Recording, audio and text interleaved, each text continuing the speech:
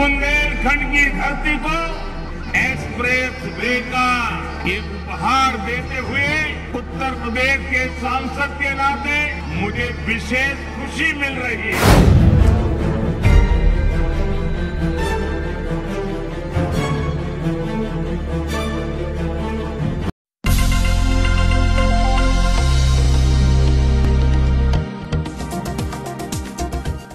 Montage में ये video देखी आपने? ये वीडियो है अभी हाल ही में प्रधानमंत्री मोदी जी ने, जो बुंदेलखंड एक्सप्रेसवे का उद्घाटन किया था उस हाईवे की। आप समझिए कि कितनी जल्दी में हमारे प्रधानमंत्री रहते हैं कि रोड अभी पूरी तरीके से बना भी नहीं था। जिस दिन पीएम मोदी इनोग्रेशन कर रहे थे, उसी दिन अखिलेश यादव ने एक वीडियो ट्वीट की थी और कहा था कि अभी अधूरा है हाईवे और मोदी जी उसका इनोग्रेशन करने चले गए। मतलब अपना नाम कमाने के लिए या अपनी वाहवाही लूटने के लिए इतने उत्तेजित रहते हैं कि अधूरे काम का ही उद्घाटन कर दिया। अब उसका नतीजा ये हो रहा है कि जगह जगह से वो हाईवे रोड टूट रहा है।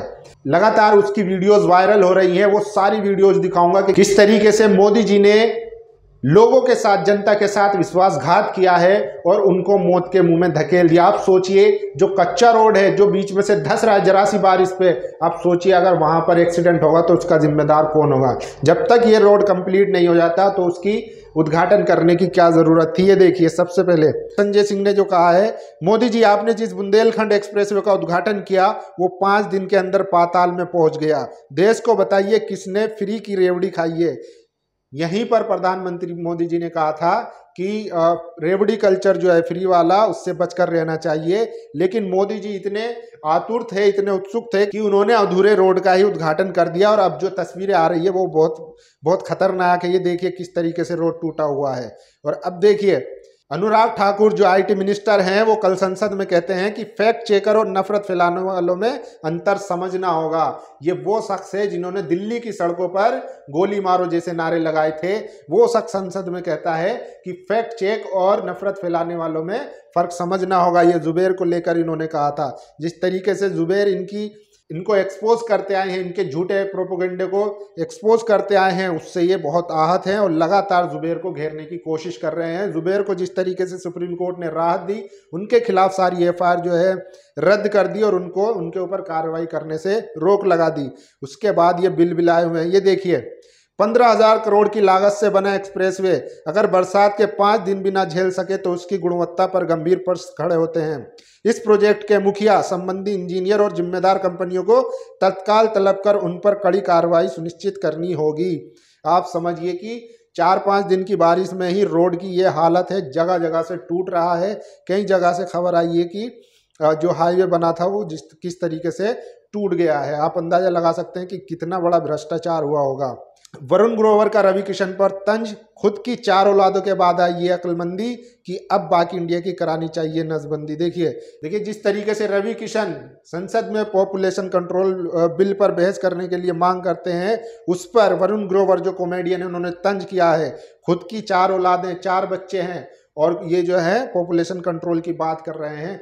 अधिकतर बीजेपी के ऐसे नेता हैं जिनके दो से ज़्यादा बच्चे हैं तो उनका क्या होगा? क्या उनसे भी सारी संपत्ति या उन, उनको जो फैसिलिटी मिलती है वो सब छीन ली जाएगी। वहीं देखिए राहुल गांधी ने मोदी पर बड़ा हमला किया है। किस तरीके देखिए विज्ञापनों का खर्च 911 करोड़ नया हवाई जहाज़ आठ हज़ार चार सौ करोड़ पूंजीपति मित्रों के टैक्स में छूट एक लाख पैंतालीस हज़ार करोड़ साल लेकिन सरकार के पास बुज़ुर्गों को रेल टिकट में छूट देने के लिए पंद्रह सौ करोड़ नहीं है। मित्रों के लिए तारे तक तोड़कर लाएँगे, मगर जनता को कोड़ी कोड़ी के लिए तरसाएँगे। जिस तरीके से इंडियन रेलवे में जो बुज़ुर्गों को कंसेशन मिलता था, वो खत्म कर दिया गया है। लेकिन अपने दोस्तों के कर्ज लोन माफ़ होते हैं। ये सारी खबरें हैं कि किस तरीके से आज देश के हाल। और ये देखिए सिमृत ईरानी के रिश्तेदार जो हैं, वो इलीगल तरीके से गोवा में एक बार चला रहे थे। देखिए, स्मृति ईरानी जी देश जानना चाहता है कि क्या आपकी बेटी ने फर्जीवाड़ा कर एक मरे हुए व्यक्ति के नाम से गोवा में शराब परोसने का लाइसेंस किया, जिस पर उन्हें एक्सरसाइज कमिश्नर ने नोटिस भेजा है। तो आप देखिए, इनकी बेटी, इनके रिश्तेदार जो है, वो फर्जी नाम से बार बार चला रहे थे गोवा में, जिसके बाद इनकी पोल खुल गई है। और रवीश कुमार ने ट्वीट किया है ईडीजी नमामि गंगे में भारी भ्रष्टाचार हो रहा है, वहाँ रेड करने कब जा रहे हो? माँ गंगा का सवाल है। जिस तरीके के से विपक्षी नेताओं को लगातार टारगेट किया जा रहा है, ईडी से डराया, धमकाया जा रहा है, उस पर रवीश कुमार ने तंज किया है। जेल से छूटने के बाद मोहम्मद जुबैर बोले, मैं अपना काम वैसे ही करूँगा जैसे मैं करता था। तो जुबैर के हौसले अभी भी बने हुए हैं, हिम्मत नहीं आ रही। ये देखिए वरिष्ठ जनों ने सबसे अधिक ताली और थाली पीट कर प्रधानमंत्री जी का साथ दिया था। उन्हें उसका तोहफा दिया जा चुका है। अब रेल किराए में उन्हें किसी तरह की छूट नहीं मिलेगी। ऐसा कोई सगा नहीं जिसको ठगा नहीं। सूर्य प्रताप आइए से, जिन्होंने ट्वीट किया है और जिस तरीके से बुज़ुर्गों का जो कंसेशन था वो खत्म कर दिया गया है, उसके बाद आप अंदाज़ा लगा सकते हैं। देखिए, देश की महिला बाल कल्याण मंत्री का परिवार अवैध तरीके से गोवा में बार मदिरालिए चला रहा है। मोदी जी, मैडम पर कार्रवाई भले ही ना करिए, पर नोटिस देने वाले कमिश्नर पर गाज मत गिराना। जिस तरीके से मोदी सरकार लगातार करती आई है, कोई अफसर अगर अपनी ईमानदारी से काम भी करता है तो उस पर भी गाज गिरा दी जाती है। इसीलिए जो दीपक शर्मा है, पत्रकार, उन्होंने तंज किया है और ये देखिए, उद्धव ठाकरे के बेटे आदित्य ठाकरे ने इल्ज़ाम लगाया है। पापा के दो बड़े ऑपरेशन हुए सर्जरी के बाद कई दिन तक बिस्तर से भी नहीं उठ सकते थे। यही समय था जब शिंदे अंकल ने सत्ता हड़पने की साजिश शुरू की। तो अब ये आरोप प्रति आरोप लगा रहे हैं। और ये देखिए, अडानी ने एसबीआई से मांगा चौदह हज़ार करोड़ का लोन। पहले से दो करोड़ इक्कीस लाख का कर्ज है। देखिए, अडानी पहले दिए नहीं है और और और एसबीआई से और जो है पैसों की मांग कर रहे हैं, लोन की मांग कर रहे हैं। और ये सब का क्या होगा?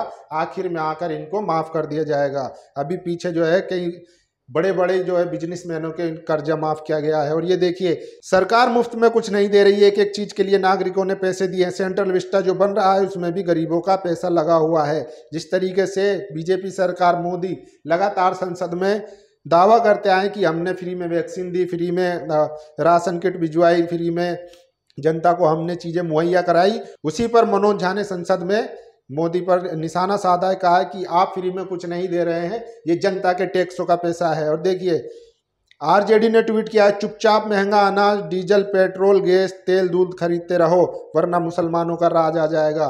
तो ये आरजेडी जो है, सबसे सबसे मुखर होकर और बेबाक अंदाज में जो है, सवाल करती है, चाहे वो महँगाई का मुद्दा हो, सांप्रदायिकता का मुद्दा हो या फिर जाति जनगणना का मुद्दा हो, सबसे ज़्यादा मुखर होकर अगर कोई है तो वो आरजेडी है। जिस तरीके से देखिए, जिस तरीके से देश के लोगों में भ्रम फैलाया गया कि अगर आप जो है मोदी जी चले गए तो मुसलमानों का राज आ जाएगा। उसके बदले में आपको चाहे तेल महँगा मिले, दूध महँगा मिले, गैस महँगा मिले, साइकिल महँगी मिले, वो सब चुपचाप खरीदते रहिए क्योंकि मुसलमान आ जाएँगे। ये देखिए, अब बांदा और इटावा में धसा बुंदेलखंड एक्सप्रेस वे लगता है। 2024 में मोदी जी की विदाई के पहले ही पूरा एक्सप्रेस वे पाताल में समा जाएगा। श्रीनिवास ने ट्वीट किया, ये देखिए अब खबर आ रही है कि बांदा और इटावा में भी ये एक्सप्रेसवे धस गया है। तो इस बात से आप अंदाज़ा लगा सकते हैं। इसमें कितना बड़ा फर्जीवाड़ा हुआ होगा और मोदी जी ने कितनी जल्दी मचाई कि उसका उद्घाटन कर दिया। आप सोचिए, अगर इस पर आवाजाही शुरू हो जाती और लोग जो है आने जाने लगते, कितने एक्सीडेंट होते, कितने लोगों की जान जाती। उनके पास विधायकों को रिजोर्ट ले जाने के लिए पैसे हैं, लेकिन बुज़ुर्गों को रेल टिकट पर रियायत देने के लिए पैसे नहीं है। रेणुका चौधरी, कांग्रेस। तो जिस तरीके से बुज़ुर्गों की जो कंसेशन काटा गया है, उस पर लोग ट्वीट कर रहे हैं और ये देखिए, आपके बच्चे लुलू मॉल में हनुमान चालीसा पढ़ रहे हैं और उनके बच्चे गोवा में फर्जी बार लाइसेंस बनवाकर बार चला रहे हैं। पवन खेड़ा, देखिए, स्मृति ईरानी जो बात बात में उस टाइम के प्रधानमंत्री मनमोहन सिंह को चूड़ियाँ भेजती थी, अब वो इस पर क्या कहेंगी? उनके जो परिवार वाले हैं, वो फर्जीवाड़ा करके डुप्लीकेट लाइसेंस से फर्जीवाड़ा करके वो बार चला रहे थे गोवा में, लेकिन उन पर कार्रवाई नहीं होगी। जो अधिकारी हैं, कमिश्नर हैं, उन पर कार्रवाई हो सकती है, वो बात अलग है।